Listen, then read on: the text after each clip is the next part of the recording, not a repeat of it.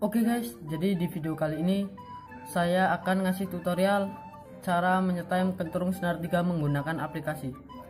Oke, sebelum kita menyetemnya, pertama-tama kalian harus tahu kalau setelan kenturung senar 3 itu setelannya EBG atau juga bisa dengan AEC.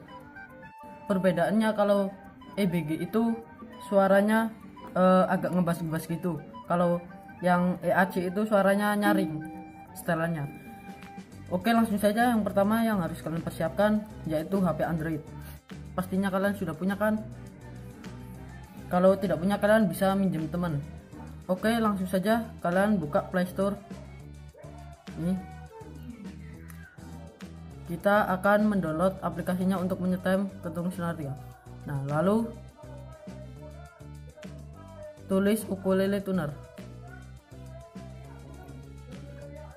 Nah, di sini ada tampilan seperti ini dan aplikasinya itu yang paling atas yang warna hijau. Ini. Klik aja lalu kalian install. Hanya 1,6 MB. Jadi kalian nggak usah khawatir, khawatir akan kuota kalian. Ya. Kalau sudah kalian buka aplikasinya.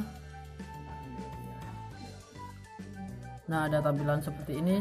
Lalu kalian klik yang atas yang tuner nah nah di sini kalian udah langsung bisa menyetem. Oke langsung aja kita menyetem ya.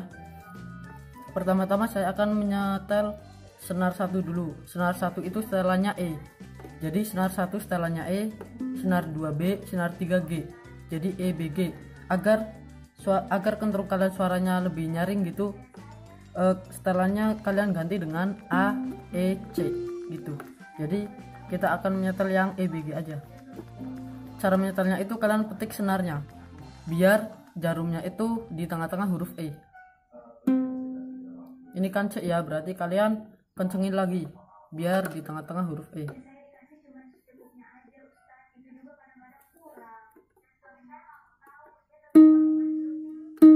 Nah ini EB berarti kencengin sedikit lagi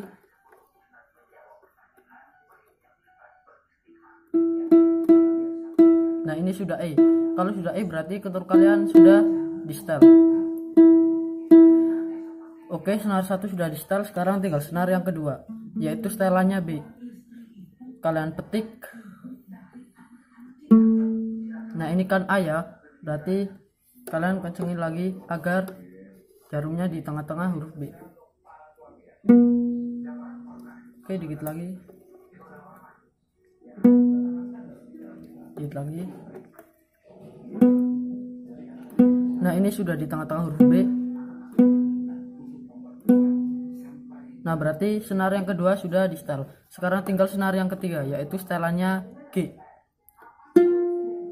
Ini masih F. Berarti kalian kencengin lagi senarnya ini masih F pagar. Kencengin lagi nah ini sudah G nah berarti kentrungnya senarnya sudah di setel sekarang kita coba kentrungnya apakah sudah bisa dimainin